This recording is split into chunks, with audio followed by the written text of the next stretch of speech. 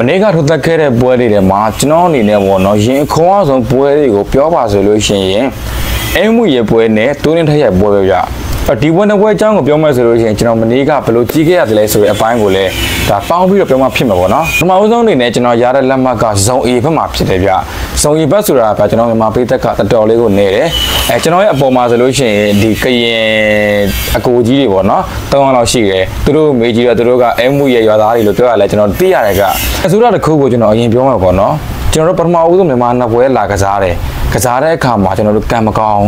ကျွန်တော်တို့အရှိမထိုင်းနေကြီးပဲဘေးမှာဆိုလို့ရှိရင်လည်းဒီတခြားယူရိုပီယန်ပေးသက်တွေလည်းရှိရပေါ့နော်ဒီဘက်ချမ်းမှာဆိုလို့ရှိရင်လည်းထိုင်းနေကြီးပဲပိုဆိုးတာကျွန်တော်တို့အရှိရဒီအသားညညွနဲ့တယောက်အဲ့တယောက်ကထိုင်းလားဂျပန်လားကျွန်တော်လည်းမသိဘူးကျွန်တော်တို့ဘက်ခံပြီးတော့အားပေးနေတာပေါ့နော်အဲ့တယောက်ကမင်းကလေးဖြစ်လာတဲ့အညီလုံးဝကိုဘယ်လိုပြောရမလဲမင်းကလေးတွေអော်တဲ့အတန်ဗျာ ကျွန်တော်တို့ဒီမပြောတတ်ဘူးပေါ့နော်တော်တော်ကြီးနားဆူအောင်អော်တာအဲ့လိုအတန်မျိုးအဲကျွန်တော်တို့ရဲ့စန့်ကျင်ဘက်ကဂျပန်ဖိုင်တာဖြစ်တယ်ဆိုလို့ရှိရင်တော့ဂျပန်ဖိုင်တာဘက်ကအာဘာညာအဲ့လိုអော်တာတော်တော်ဆူဆူអော်တာကျွန်တော်တို့ကလည်းអော်တာပေါ့နော်ကျွန်တော်တို့အမြင်ကတ်လို့អော်တာတော့ကျွန်တော်လည်းမပြောတတ်ဘူးထားပါတော့ပထမနှစ်ပွဲမှာကျွန်တော်ရှုံးတဲ့အခါမှာသူအတကုံអော်တာကျွန်တော်ကလည်းနည်းနည်းတေးထားတာပေါ့နော်ဒီတယောက်တွေ့မယ်နောက်အဲမှုပွဲကြရင်တွေ့မယ်ဆိုပြီးကျွန်တော်တွေးထားတာ အဲအချိန်မှာအဲမှုပွဲကလာရောလာလဲလာရော brother အောင်လည်းမြင်ရမှာပါအဲမှုကြီးကကပြီးတော့ထွက်လာတယ်နော်ကရင်တုံးလေးနဲ့လာတော့မသိကပြီးတော့ထွက်လာတယ်ကျွန်တော်တကယ်ပဲအဲမှုကိုနိုင်မယ်လို့ယုံတယ်ဒါပေမဲ့နင်းတော့စိတ်လို့ရှားတယ်ပထမအဖွင့်နှစ်ပွဲမှာနဲ့တိုင်ဘက်ခဲ့တော့ငါတို့ဖြစ်မဖြစ်ပါမလားငါတို့မြန်မာတွေဒီနေ့ဘာတွေများဖြစ်နေရလဲပေါ့နော်အဲ့လိုမျိုးလေကျွန်တော်စိတ်ထဲမှာဗျာတန်တရားလေးတွေဖြစ်နေတာဒါပေမဲ့တကယ်တမ်းပွဲလဲကစားလဲကစားအဲမှုကြီးကတာတယ် ကစားတယ်သူ့အနေနဲ့ကတိုက်စစ်ဖွင့်ပြီးကစားတယ်ဒဘဖိုက်တာကလုံးဝသူ့ရဲ့အရက်မောင်းနဲ့ခြေတံလက်တံကိုအားပြုတ်ပြီးတော့ထောက်လက်သီးတွေဒါ push kick တွေပြီးလို့ရှိရင်ခြေကန်ချက်တွေနဲ့ပဲထင်းပြီးတော့ကစားတယ်အင်းဝီရဲ့အမားကိုစောင့်ပြီးတော့ထိုးနေတာတစ်ချိန်လုံးပထမကြီး10မိနစ်ဝင်းကျင်အထိကအင်းဝီတာတယ်တကယ်တမ်းလဲအင်းဝီကအဲ့ဒီပေါ်ကိုနည်းနည်းလေး confidence ရှိသွားပုံပေါ်တယ်တိုက်စစ်လုံုံဖွင့်တယ်ပေါ့နော်အဲ့ဒီအချိန်မှာလည်းကျွန်တော် fighter ရဲ့ counter လက်သီးမိပြီးတော့မှောက်သွားတယ်မူးလဲမူးသွားတယ်ဗျအမတ်စင်လည်းရေခံလိုက်ရတယ် ကျွန်တော်တို့အားလုံးနည်းနည်းလေး short ဖြစ်သွားတယ်ဟုတ်တာရင်ထဲမှာပေါ့နော်ဟာငါတို့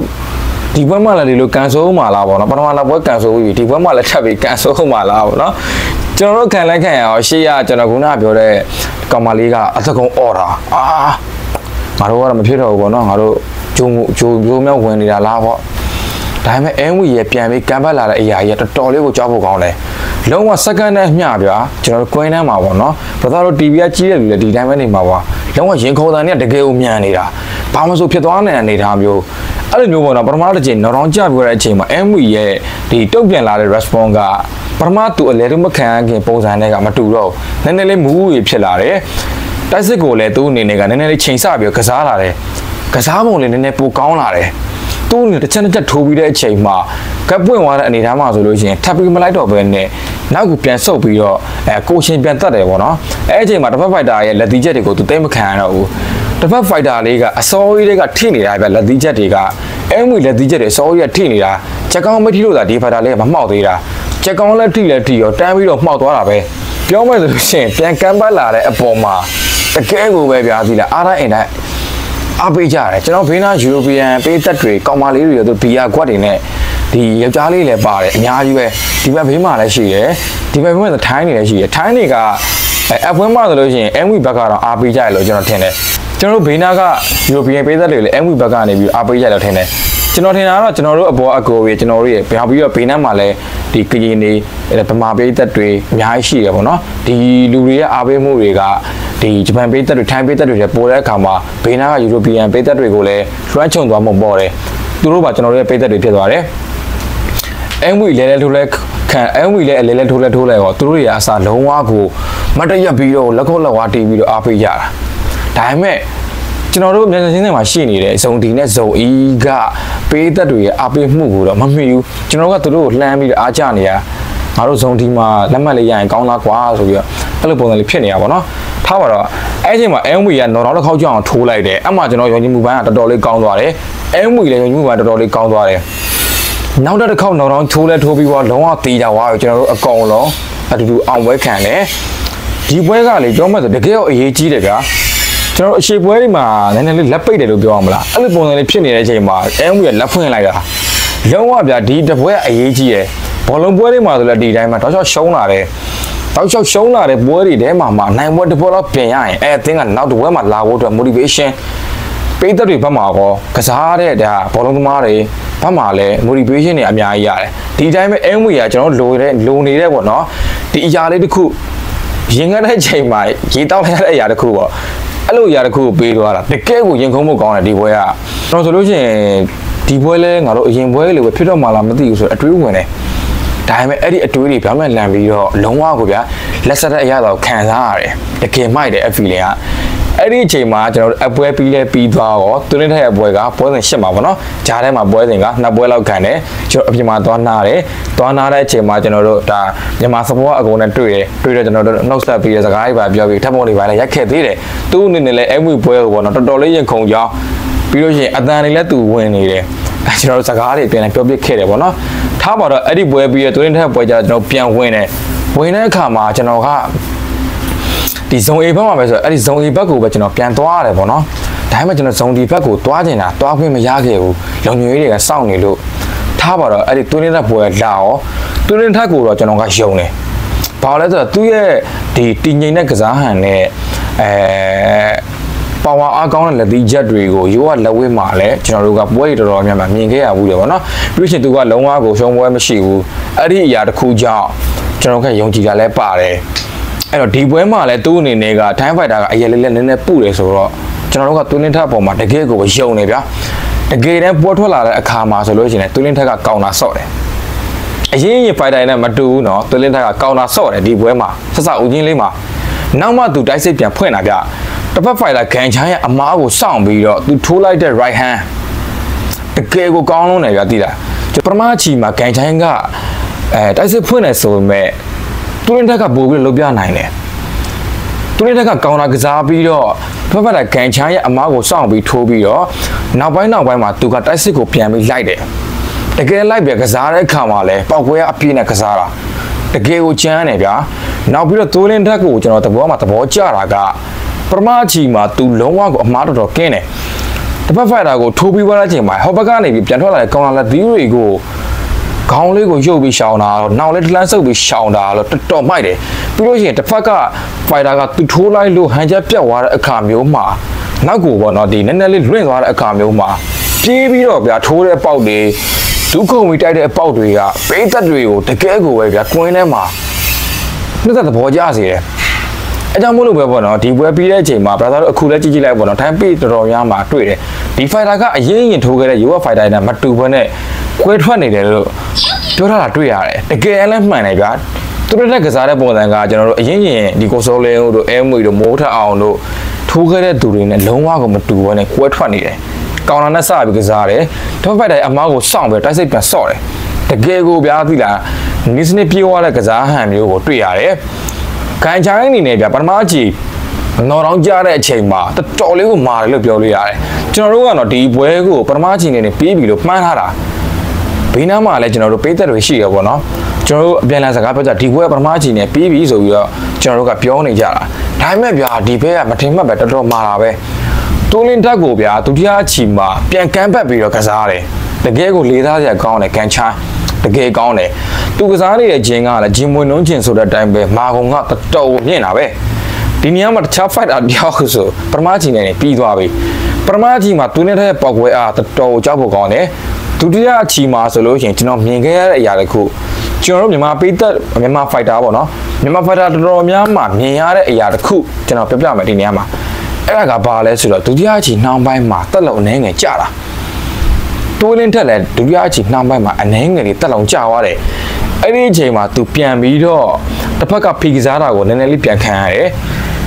ကန်ချိုင်းကဒီပွဲမှာတက်လုံပိုကောင်းတယ်လို့ပြောလို့ရတယ်ဒါကကျွန်တော်တို့ fighter တွေအမှားမဟုတ်ဘူးဘာလို့လဲဆိုတော့ကျွန်တော်တို့သွေးလင်းထက်လို့လို့ fighter တခြားတခြား UF fighter တော်တော်များက weight တန်းနဲ့ချိန်ပြီးတော့ကစားခဲ့ရတာမဟုတ်ဘူးအဲ့တော့ဒီပွဲမထိုးခင်မှာသွင်းလင်းထက်ကဝိတ်ချတဲ့ဟာတွေဘယ်လိုတွေ့ခဲ့မှာပေါ့နော်ဝိတ်ချတဲ့ပုံမှာကျွန်တော်တို့ကဒီထိုင်းတွေလောက်တခြားဥရောပလိုပါဖိုက်တာတွေလောက်တက်ခနစ်ပိုင်းမှာလိုအပ်သေးတယ် အဲ့ဒီတော့ကြောင့်မို့လို့ကျွန်တော်တို့ကအဲဝိတ်ချပြီးတော့ဗျာဒီတရက်အတွင်းမှာအာဟာရပြန်ဖြည့်တဲ့အပိုင်းတွေမှာနည်းနည်းလေးလိုအပ်မှာဗျာပြောချင်တဲ့အိဗယ်ကယူဝလက်ဝေးမှာထိုးခဲ့တဲ့ပွဲစဉ်ကခွန်အားမျိုးကိုဒီပွဲမှာတိတ်မရဖို့ကများတယ်ပေါ့နော်တိတ်မရဖို့ကများတယ်အနှဲငယ်လေးအားရောက်နေပေါ်ပေါ်တယ်ပထမအချိန်မှာမသိတာဘူးဒုတိယအချိန်နှောင်းပိုင်းမှာသိတာတယ်နောက်ပြီးတော့ပွဲကတူတင်ကိုတင်ရုံရတဲ့ပွဲဖြစ်နေတော့ပို့ပြီးတော့သိတာတယ်ကန်ချိုင်းတို့ကြတော့ငကိုတွေကဒီစနစ်တွင်းမှာအများနဲ့စောင့်နေကြဆိုတော့ အချီကြလာလေသူကနည်းနည်းကောင်းလာလေလို့ပြောလို့ရတယ်ပေါ့နော်သူနဲ့တစ်ခါကျတော့အချီကြလာလေနည်းနည်းတက်လုံးမှန်ကြလာလေနောက်ပြီးတော့ဒီ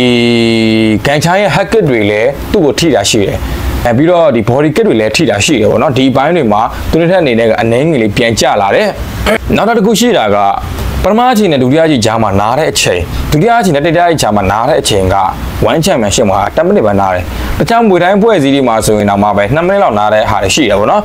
1 championship မှာ10မိနစ်ပဲနားတယ်ဗျာကျွန်တော်တို့ဆိုလို့ရှိရင်ရေဘူးလေးတောက်ပြီးစကားလေးနည်းနည်းပြောအောင်ပဲရှိသေးတယ်ခေါင်းလောင်းတီးလိုက်ပြီးအရန်ကိုမြန်လွန်းတယ်ပြီးတော့ခေါင်းလောင်းပြီးတော့ခေါင်းတွေကိုပေါ့နော်ဒီရေတွေပါလောင်းလို့လည်းမရဘူးပြီးတော့နရွက်တွေပါတွေကြိုက်ပါရလုံးလို့မရဘူး နီးပြဖွဲ့ဝင်တွေကဆိုလို့ရှိရင်ကျိုးဝိုင်းတဲ့ကိုတယောက်ပဲတက်ကလည်းဝမ်ချန်ပီယံရှစ်မှာရှိနေတဲ့သူတို့အကူလူတွေကလုပ်ပေးတာနီးပြဖွဲ့ဝင်ကတယောက်ပဲတက်လို့ရတယ်အဲ့လိုအနေထားမျိုးလုပ်ချင်တယ်လုပ်လို့မရတဲ့အနေထားမျိုးပေါ့နော်ယူကလက်ဝဲမှာကဘာလို့အားလုံးသိတဲ့အတိုင်းပဲ2မိနစ်လောက်နားတယ်နားပြီးတဲ့အချိန်မှာစုတော်ငွေဘာညာနဲ့3မိနစ်4မိနစ်လောက်ဖြစ်တယ်မရှိဘူးဆိုတော့လည်း3မိနစ်လောက်ရှိတယ်ကသမားတယောက်ကကောင်းကောင်းကြီးအနားယူလို့ရတယ်အဲ့လိုမျိုးဖြတ်တန်းလာတဲ့ဖိုင်တာတယောက်အနေနဲ့ဒီလိုမျိုး10မိနစ်လောက်ပဲနားရတယ်ရေလဲလောင်းချလို့မရဘူး အဲ့လိုအနေထားမျိုးမှာ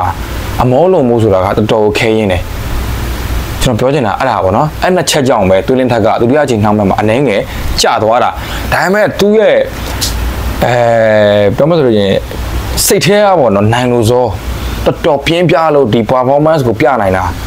တုံတောင် fighter ဆိုလို့ရှိရင်ကျွန်တော်တို့မလွယ်ဘူးသူနဲ့ထက်နေရာမှာပေါ့နော်တုံတောင် fighter ဆိုမလွယ်ဘူးပြီးတော့သူနဲ့ထက်ကတော်တော်တက်လုံကောင်းတယ်လို့ပြောလို့ရတယ် ဥမာအဲမွေတို့ဘာလို့ဆိုတော့တိတ်မလွယ်ဘူးကျွန်တော်ထင်တာပေါ့နော်ဒီတက်လုံအနေထားနဲ့အဲမွေတို့ဘာလို့ဆိုတော့တုံးကြည့်ပြီးကစားရင်မလွယ်ဘူးသူနဲ့ထက်ကတော်တော်လေးထိမ့်ပြီးကစားတော့ရအောင်တွေ့ရတယ်ဒါပေမဲ့ဂန်ချိုင်းလည်းနည်းနည်းတော့ကြပါတယ်ဂန်ချိုင်းကတော့သူနဲ့ထက်လောက်မစိုးဘူးလို့ပြောလို့ရတယ်ထားပါတော့ဒုတိယချီမှာဆိုလို့ချင်းတူရင်ကိုတွေမဲ့အမှတ်ပေးရတာတော်တော်လေးခက်တယ်တည်ပဲပေးရမယ်ပေါ့နော်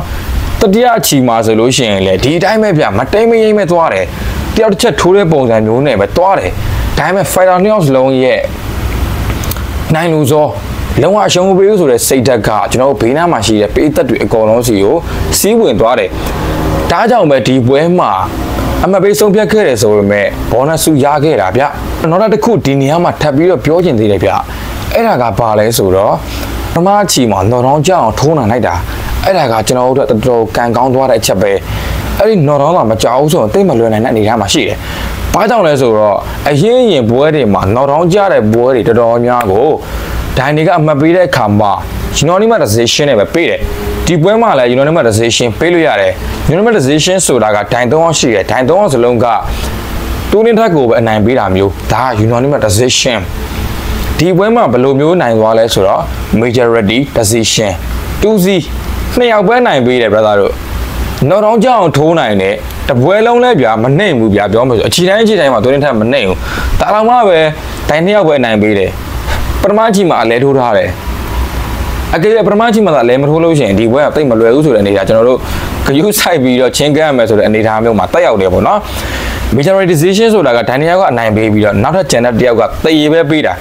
လုံးဝပေးတဲ့အကြောင်းမရှိဘူးတရေကဒီဘွဲမှာကျွန်တော်ပြောရမယ် နောက်တော့ကြာသွားလို့ရှိရင်ကျင်းစီပါအနိုင်ကိုပေးရမှာဒါတော့မှသူတို့ကမပေးဘူးเนาะဒါကျွန်တော်တို့တတိထားတဲ့တစ်ချက်ကိုကျွန်တော်အနေနဲ့ဖြည့်ပြီးတော့ပြောပေးလိုက်တာဖြစ်ပါတယ်ဗျအဲ့တော့ပြောမယ်ဆိုလို့ရှိရင်ကျွန်တော်တို့ဒီမနေ့ကပြခဲ့တဲ့ performance ကျွန်တော်တို့ရင်ခုန်စိတ်လှုပ်ရှားမှုပေါ့နော်အပိုင်းနဲ့တိုင်းတာမယ်ဆိုလို့ရှိရင်စိတ်လှုပ်ရှားမှုအပေးနိုင်ဆုံးပွဲသည်သူလင်းထက်ပွဲရောအဲမွေပွဲရောလို့ကျွန်တော်တို့ကတော့ပြောရမယ်ကျွန်တော်စိတ်ထဲမှာတော့ဒီနှစ်ပွဲစလုံးကိုဒန်းတူပဲကျွန်တော်တွက်တယ် ဘာလို့ဆိုအဲမွေရဲ့ပွဲသည်ကျွန်တော်တို့အရှုံးကနေပြီးတော့ပြန်လာရတဲ့ပွဲနော်တော့တစ်ခေါက်ကြာပြီးမှပြန်လာရတဲ့ပွဲလုံးဝကမ်းဖက်ပွဲကြီးဗျာတကယ်ကိုပဲကျွန်တော်တို့ရင်ကုန်စိတ်လှုပ်ရှားစွာနဲ့အားပေးခဲ့ရတယ်တကယ်မိုက်တယ်ပွဲဒီဘက်ကသွေးရင်းထက်ပွဲကြတော့ပထမအချိန်မှာတောင်းထိုးတယ်နောက်ပွဲမှာကျတော့နောက်ပိုင်းနောက်ပိုင်းအချီတွေမှာကျတော့ကန်ချိုင်းကပြန်လာတယ်တကယ်ကိုပဲဗျာလုံးဝအမားခံလို့မရတဲ့အနေအထားမျိုးအထိကိုရှောက်သွားတယ်တကယ်ကိုမိုက်တယ်လုံးဝ fight အပြည့်ကိုလည်းခံစားရတယ်ဒီပွဲက ပြောမှဆိုလို့ရှိရင်ကျွန်တော်ဒီပွဲနှစ်ပွဲကိုပေါ့နော်တန်းစင်ပွဲထားတော့မှာပဲရင်ကုန်စိတ်လှုပ်ရှားမှုအပြည့်ခံစားရတဲ့ပွဲလို့မြင်တယ်။တန်းစင်ရဲ့ပွဲကတော့လုံးဝကိုအပြတ်ထိုက်ကြီးပဲဗျာ။ပွဲစကလေးကကိုတီးတာ။ကျွန်တော်ဒီညမှာတခုပြောအောင်မယ်တန်းစင်ပွဲကြောင်းတန်းစင်ပွဲဂျာတဲ့အချိန်မှာကျွန်တော်ဟိုပါပေါ့ဇုံဒီဘက်ကိုကျွန်တော်ခိုးပြီးဝင်လိုက်တယ်။ဒီမုံအီဇုံအီဘက်ကိုကျွန်တော်ခိုးပြီးဝင်လိုက်တယ်။ဝင်လိုက်တဲ့အချိန်မှာကျွန်တော်ဘယ်လိုဖြစ်သွားသလဲဆိုတော့ကျွန်တော်ထိုင်လိုက်တဲ့နေရာရဲ့ဘေးနားမှာအစားကားကြတော့ဥရောပပိသက်တွေကထိုင်နေကြတာ အဲနောက်မှကျသူတို့အပေါ်ပါသွားလာမသိအပြင်ထွက်သွားတဲ့အချိန်မှာထိုင်းနေဝင်လာတယ်သူရင်းထိုင်ရဲ့ပွဲပြီးတဲ့အချိန်မှာနှစ်ပွဲလာသေးတယ်အဲ့ဒီတန်းစင်ရဲ့ပွဲမလာခင်ပွဲအဲ့ဒီပွဲမှာနိုင်သွားတဲ့ fighter ထိုင်း fighter ပေါ့နော်အသားဖြူနဲ့အဲ့ fighter ရဲ့တငယ်ချင်းတွေဖြစ်မယ်10ယောက်လောက်ရှိတယ်ကျွန်တော်ရဲ့ဘေးမှာ9ယောက်လောက်ထိုင်တယ်ဒီဘက်ဘေးမှာ9ယောက်လောက်ထိုင်တယ်ကျွန်တော်ကသူတို့နှစ်ယောက်ကြားထဲမှာညှက်သွားတယ်အဲ့ဒီပွဲမှာသူတို့ကအိမ်တိုင်းအားလိုက်ပဲအားပေးကြတာသူတို့ထိုင်းနေအားပေးတဲ့ပုံစံသိရမလားအေးအေးလို့ဗါလဲအဲ့လိုအော်ပြီးလောက်ကြတာဗျာ အကျွန်တော်တွေးနေတာပေါ့နော်အာဒီကောင်နှစ်ကောင်ကြားထဲမှာတန်းနေပွဲလိုင်းတော့ငါတို့လွယ်ပါမလားပေါ့အဲ့လိုတွေးနေတာလုံးဘာလို့ဆိုတော့သူကအုပ်စုတောင်းတယ်ဗျာသိလားကျွန်တော်ကကျတော့တယောက်တည်းအဲအဲ့လိုမျိုးဆိုတော့တိတ်မလွယ်ဘူးပေါ့နော်ကျွန်တော်တွေးနေရပါငါနည်းနည်းလေးတန်းစင်ဝက်လာရင်နည်းနည်းလေးအဲအနေထားကြည့်ပြီးအားပေးရမှထင်တယ်ပေါ့အဲ့လိုပုံစံလေးကျွန်တော်တွေးနေတာပေါ့နော်ထားပါတော့အပွဲလဲပြီးလဲပြီးသွားရောတန်းစင်ဝက်လာရောလုံးဝအပေါ်မှာပိုစတာပြလိုက်ကြတဲ့အခါမြန်မာပေးသက်တွေကဘုံဖြစ်နေတာ တန်းတင်မထွက်လာသေးဘူးတန်းတင်မထွက်လာသေးဘူးပိုစတာပြလိုက်ချိန်မှာတည်းကကျွန်တော်တို့ဟိုအောက်မှာဆိုကောင်မလေးအကင်းရင်ကောင်မလေးတန်းတင်ပွဲရပြပြောမှဆိုဒီပွဲတွေအားလုံးလည်းမှာလူအောင်ကြောင်းမှုအများဆုံးပဲလုံးဝပိတ်သက်ကိုဟောဖြစ်နေတာအဲ့ဒီလိုအချိန်မှာဘိန်းနာသူတွေကကျွန်တော်တို့ကြည့်ကျွန်တော်ကလည်းလုံးဝစိတ်လွတ်ပြီးတော့ဟောအော်တာပေါ့နော်အုပ်စုလည်းတောင်းသွားတာကိုရှေ့မှာအော်တဲ့သူတွေကအများကြီးဆိုတော့ကိုကလည်းအော်ရဲသွားပြီအမှန်အော်တဲ့ချိန်မှာဘိန်းနာကဂုဏဘဲတွေက ကျွန်တော်တို့ကြည့်တယ်ဒီဘက်ဘဲကလည်းကျွန်တော်တို့ကြည့်သူအန်အောနေတယ်ဒီလိုပုံစံမျိုးသူတို့မမြင်ဘူးထင်တယ်သူတို့အားပေးတယ်လေမြင်ပါတယ်မတူဘူးဗျာသေးလားပုံစံချင်းကမတူကျွန်တော်တို့ကငယ်တန်းပအောင်អော်တာသူတို့ကကြတော့ပုံမှန်ပဲအဲ့တော့သူတို့ကတော်တော်ထူးဆန်းနေတဲ့ပုံပေါ်တယ်ကျွန်တော်တို့ကြည့်ပြီးတော့ပြုံးစီစီနဲ့လှုပ်လိုက်သူတို့ချင်းချင်းကြည့်ပြီးတော့မျက်လုံးချင်းစကားပြောလိုက်နဲ့အဲ့လိုဖြစ်နေကြတာတကယ်တော့ပိုးလဲထိုးလဲထိုးရောဗျာပိုဆိုးတာဗောတန်းစင်ကအပေါ်စီးကထိုးတော့ ကျွန်တော်ကန်ကောင်းကျင်တော့လေကျွန်တော်ဘေးနားမှာပေါ့နော်ဒီကျွန်တော်နဲ့အသီးတဲ့ညီလေးတယောက်ရှိတယ်အဲအဲ့ဒီအဲ့ဒီအဲ့ဒီကွင်းမှာပေါ့နော်အားပေးနေကျွန်တော်သိတဲ့ညီလေးတယောက်အဲ့ဒီညီလေးကိုကျွန်တော်တွေ့လိုက်တော့အဲ့ဒီညီလေးကိုကျွန်တော်ညီလေးဘာညာပေါ့နော်ပြောတော့အဲသူကကျွန်တော်နဲ့တူတယ်အကြည့်တယ်ကျွန်တော်ဘေးနားမှာထိုင်ပြီးတော့ကျွန်တော်အဲ့ဒီကောင်ထိနေရတာသူကကျွန်တော်တော့ဆိုတယ်ဘယ်လောက်ထိဆိုးလဲဆိုတော့ကန်းတဲ့ကထိုးတဲ့အချိန်မှာသူကကနေတာဘေးနားရင်ပြီးတော့ဘေးနားမှာကနေတယ်တန်းနေရဟောကောင်အတကောင်တီးနေတဲ့ဥစ္စာသူကဘေးမှာကနေ ဘေးနားထိုင်းနေရဗျာသိတာကျွန်တော်တို့ကြည့်ပြီးတော့ပြုံးစည်းစည်းနဲ့သူတို့ချင်းချင်းပေါ့တကယ်လဲတန်းနေတဲ့နန်းနိုင်ရောအိုးပူဆိုးတာရောတရုံလုံးထားကတာပဲကျွန်တော်ပြောတာဗျာအာပိယုံနေမဟုတ်ကပါကတာအဲ့ဒါရတော်တော်ဘယ်လိုပြောရမလဲသူတို့အမြင်ကတ်ချင်လဲကတ်ချင်စရာပဲကျွန်တော်စိတ်ထဲမှာတော့မဟုတ်နော်ဟိုထင်သွားတာကအဲ့ဒါကြောင့်မြန်မပေးရလားဗောနော် bonus ကအဲ့လိုမျိုးလဲပြောလို့တော့မရဘူးဗောနော် နောက်တစ်ခုရှိတာကဒီကျွန်တော်အိမ်ရောက်တော့ဗောနော်ဒီပွဲကိုပြန်ကြည့်တဲ့အခါမှာကျွန်တော်တို့ပေးသက်တွေကနေရတယ်ရောပြီးလို့ချင်းတန်းစင်ကျိုးဝမ်းထဲမှာအောင်ဝက်ခန့်တဲ့ပုံစံကိုမပြသွားတာရှိတယ်ကျိုးကတန်းစင်လုံးဝလူဝင်စတိုင်ပေါ့နော်လူဝင်စတိုင်နဲ့လမ်းလျှောက်ပြီးတော့ရင်ဘက်ကိုဒုံဒုံဆိုတော့ပြီးအောင်ဝက်ခန့်သွားတဲ့ဟာရှိတယ်ကျွန်တော်တင်ပေးမယ်အဲ့ဒါကိုအဲ့ဒီဟာကိုမပြသွားဘူးအဲ့ဒီလိုပြောမှဆိုလို့တန်းစင်ကလည်းကျိုးဝမ်းထဲမှာဒါမျိုးကျွန်တော်တို့ပေးသက်တွေကလည်းဒါမျိုးတွေကားတဲ့ကောင်ကအော်တဲ့ကောင်အော်ခုံတဲ့ကောင်ခုံ အဲ့လိုမျိုးဆိုတော့လေဘေးနာထိုင်ပေးသက်တွေကကျွန်တော်တို့အမြင်ကတ်လို့ဖြစ်မယ်ကျွန်တော်တို့ရှေ့ကနေပြီးတော့သူကလာကပြအဲ့လိုပုံစံလေးတွေ့ရတယ်ပေါ့နော်ပြောမှဆိုလို့ရှိရင်ပြောဖို့လည်းကောင်းပါတယ်အမှန်တည်းဆိုလို့ရှိရင်ကျွန်တော်ပထမရောက်သွားတဲ့ဇုံ E ဘက်ကတိတ်ပြောဖို့မကောင်းဘူးဒီဇုံ E ဘက်မှာတအားပြောဖို့ကောင်းတယ်ဇုံ D ဘက်မှာတအားပြောဖို့ကောင်းတယ်အဲပြောမယ်ဆိုလို့ရှိရင်ကျွန်တော်ပြောချင်တဲ့အဓိကအတိတ်ပဲကဒီလိုမျိုး vice တွေပေါ့နော်ကျွန်တော်တို့ကသူတို့နဲ့လုံးဝမတူတကယ်ကိုပဲအဲအင်တိုင်းအားတိုင်းနဲ့ကိုအားပေးကြတာ လုံးဝဗျာကျိုးဝိုင်းထဲမှာထိုးနေတဲ့ပိတ်သက်ကအထိုးနေတဲ့ fighter ကကျွန်တော်တို့ပိတ်သက်ကပေးတဲ့ခွန်အားကိုတရားခိုင်လုံးတော့မဟုတ်ဘူးဗျာ200ခိုင်လုံးလို့ကျွန်တော်တင်စားပြီးပြောမယ်200ခိုင်လုံးရတယ်တကယ်ကိုပဲတွင်းနေတဲ့ဆိုလို့ရှိရင်လည်းထိုးနေတန်းလန်းနေတော့မှပဲလှမ်းတော့ဆက်သေးတယ်အဲ့လိုဘိုင်းနေရှိတယ်နောက်ပြီးတော့တွင်းတဲ့ရဲ့ပွဲအမွေပွဲအမွေအမွေပွဲကျွန်တော်ထပ်ပြောမယ်အမွေပွဲမှာအမွေကိုဒုတိယချီမှာကံပတ်ပြန်လာနိုင်အောင် နှုတ်ဆွပေးလိုက်တာပေးသက်ရဲ့အဲခွန်အားပဲဘယ်တော့ကြားလာတော့မသိဘူးကျုံဝိုင်းထဲမှာဟောဒီကွင်းထဲမှာသွားကြည့်ရတဲ့သူတွေကတော့သိတယ်တီဗီမှာကြည့်ရတဲ့သူတွေကတော့အဲတိတ်မကြားလောက်ဘူးထင်တယ်အဲမွေအဲမွေနဲ့တောက်လျှောက်ကိုអော်တာအဲ့ဒါတော့နားတဲ့အချိန်မှာသူ့ကိုပြောမှဆိုလို့ရှိရင်ကိုဖိုက်တာခံနေရတယ်သူ့မှာခွန်အားလိုတယ်အဲ့ဒီခွန်အားကိုပေးသက်ကပေးတာ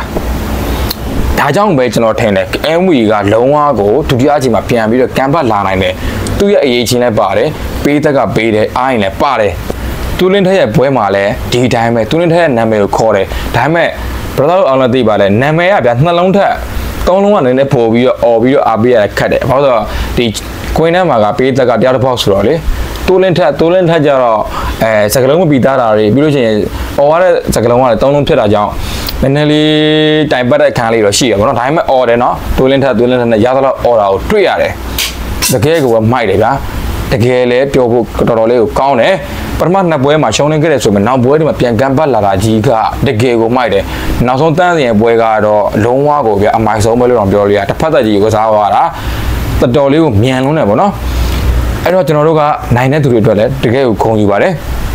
ကျွန်တော်ဒီဗီဒီယိုလောက်ရတယ်ဆိုတာကလည်းကျွန်တော်အနေနဲ့တန်းစင်ရဲ့ပွဲက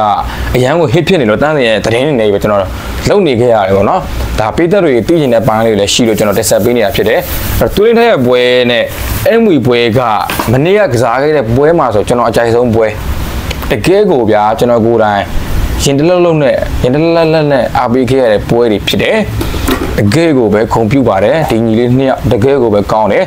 တိုးလင်းထက်ကတတော်နာမည်ကြီးနေတဲ့ထိုင်းပါ လုံးဝလုံးဝကိုအရင် fighter နဲ့မတူဘဲနဲ့ fight IQ ပြေးသွားတယ်လုံးဝကိုဗျာကွက်ထွက်နေတဲ့ကစားတစ်ခု aggressive လဲဆန်တယ်အဲလက်သီးပါဝါလဲပြင်းတယ်လုံးဝဗျာတိုက်ခိုက်ရေး spirit ပေါ့နော်ဒီတော့မဆိုလို့ရှိရင်စိတ်နှလုံးသားလားအဲ့လိုပြောအောင်မလားအဲ gladiator ပေါ့ gladiator ဆိုတာ gri မှာဆိုလို့ရှိရင်အသေးကြီးတိုက်တဲ့ဒီဟိုဟာတွေဗျာသိတယ်မလားဒီတော့မဆိုလို့ရှိရင်တိုက်ခိုက်ရေးသမားတွေကျွန်တော်တို့ကျိုးဝိုင်းတဲ့ကိုကွင်းထဲကိုထည့်ပေးလိုက်တယ် တယောက်ပဲတက်ရှင်နေထွက်လာအောင်ပဲအသေးတက်တဲ့ပွဲတွေပေါ့အဲ့လိုပုံစံမျိုးအထိကိုတင်သားထားကြတာကိုတွေ့ရတယ်တကယ်ကိုပဲအလားအလာအများကြီးရှိပါတယ်သူရင်ထက်အနေနဲ့ကနောက်ပြီးတော့ဒီနေရာမှာလည်းကျွန်တော်ရှောင်းနေသွားခဲ့တဲ့ညီငယ်လေးနှစ်ယောက်ကိုလည်းအားပေးစကားပြောချင်ပါတယ်ကျွန်တော်တို့အနေနဲ့ဒီရှောင်းနေသွားခဲ့တဲ့ညီလေးတွေကိုလည်း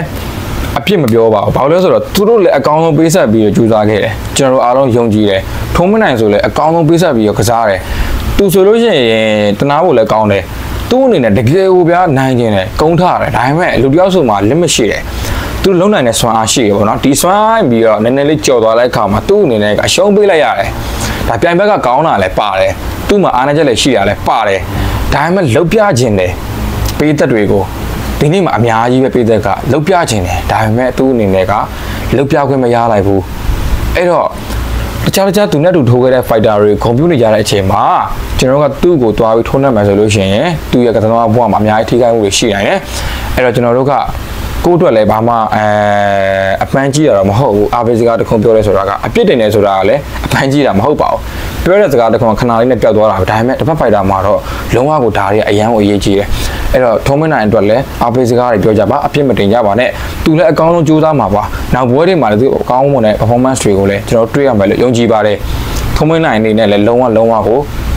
လက်လျှော့စရာမလိုဘူးတကယ်ကိုအကောင်းဆုံးပုံစံနဲ့ပြန်လာခဲ့ပါလို့ကျွန်တော်တို့က တိုက်တွန်းပါတယ်နောက်တစ်ယောက်ကတော့စာစိုးတီဟာကိုစောဆန်မြဒီညီလေးဆိုလို့ရှိရင်လည်းအဲရံမောင်းกว่าတယ်တစ်ဖက်ကဝိုင်းဖိုက်တာဒီဖိုက်တာကိုထိုးခဲ့ရတာအဓိကတော့အရံမောင်းกว่าတဲ့အပိုင်းပဲပေါ့နော်သူ့အနေနဲ့ကတော်တော်လေးကိုကြိုးစားတယ်ကျွန်တော်နဲ့သူနဲ့လည်းဒီပွဲမစားခင်တွေကစကားပြောခဲ့ရတယ်လည်းရှိတယ်ပေါ့နော်သူ့အနေနဲ့ကအလဲထိုးဖို့ရည်ရွယ်ပြီးတော့ကစားမှဖြစ်တယ်တကယ်လို့သူရှုံးနေခဲ့တယ်ဆိုတော့မှပဲပေးသက်တွေကိုလုံးဝ တိုက်ခိုက်အပြစ်ချပြပြီးသူရှုံးနေခဲ့မှာပေါ့နော်ဒီလိုပုံစံလေးသွားတာတွေ့ရတယ်တကယ်တမ်းထိုးတဲ့အခါမှာလည်းသူတကယ်ကိုပဲ aggressive ဆန်ဆန်ကစားတယ်တစ်ဖက် fighter တွေကဗျာပြောမယ်ဆိုလို့ရှိရင်ကျွန်တော်အမားကိုပဲစောင့်ပြီးတော့ကစားတာအဲမှုရင်ထိုးခဲ့တဲ့ fighter နဲ့ဆော့ဆော့မြန်နဲ့ထိုးခဲ့တဲ့ fighter နဲ့ကအချင်းတစ်ခုတည်းပဲသူတို့နှစ်ယောက်စလုံးက game နဲ့အတူတူပဲကောင်တာပဲကစားမှာအဲအဲ့လိုမျိုးပဲလာတာဒါပေမဲ့စောစက်များတော့ကန်ကန်ဆိုးစွာနေပေါ့နော်သူ့အနေနဲ့ကရှုံးနေသွားခဲ့တယ်ဗျဒါပေမဲ့ဒီညီလေးလည်းတကယ်ကိုကောင်းပါတယ် သူ့အနေနဲ့နောက်ပွဲတွေမှာလည်းအကောင်းဆုံးပြန်လာမယ်လို့ကျွန်တော်ပြောခဲ့တာရှိတယ်ကျွန်တော်ကိုယ်တိုင်လည်းသူ့ကိုဒါချက်ပေါက်ကတစ်ဆင့်အားပေးစကားတွေပြောပြီးသွားပြီတကယ်ကိုချစ်ဖို့ကောင်းတယ်ပေါ့နော်ဒီကောင်လေးကတကယ်ကိုရင်တိုင်းရင်ကြီးတယ်နောက်ပွဲမှာသူ့အနေနဲ့အကောင်းဆုံးပြန်လုပ်ပြီးတော့1စင်မြင့်ထက်ကိုထပ်ပြီးတော့တက်လာမယ်လို့လည်းကျွန်တော်တို့ဂတိပေးထားတယ် အဲ့တော့သူ့ကိုလည်းလုံးဝကျွန်တော်တို့ကတတိယစောင့်ကြည့်ပြီးတော့အားပေးစကားတွေပြောကြရမှာဖြစ်ပါတယ်အဲ့တော့ရှုံးနေခဲ့တဲ့ညီလေးတွေလည်းစိတ်ဓာတ်မကြပါနဲ့တကယ်ကိုပဲဂုံပြူပါတယ်အဲ့ဒီဥစ္စာပေါ့နော်သူတို့ရင်ထဲကတိုက်ခိုက်လို့တဲ့စိတ်ကိုနော်ဒီစိတ်ကိုကျွန်တော်တို့ကဂုံပြူတာဖြစ်ပါတယ်နောက်ဘွဲတွေမှာအကောင်းဆုံးပြန်လာခဲ့ပါအနိုင်ရရှိသွားတဲ့သူတွေကိုလည်းကျွန်တော်တို့ကလုံးဝဂုံပြူပါတယ်အဲ့တော့နောက်ဗီဒီယိုတွေမှာပြန်တွေ့ပါမယ်အဆုံးထိကြည့်ပြီးတဲ့အတွက်လည်းအားလုံးကိုကျေးဇူးအများကြီးတင်ပါတယ်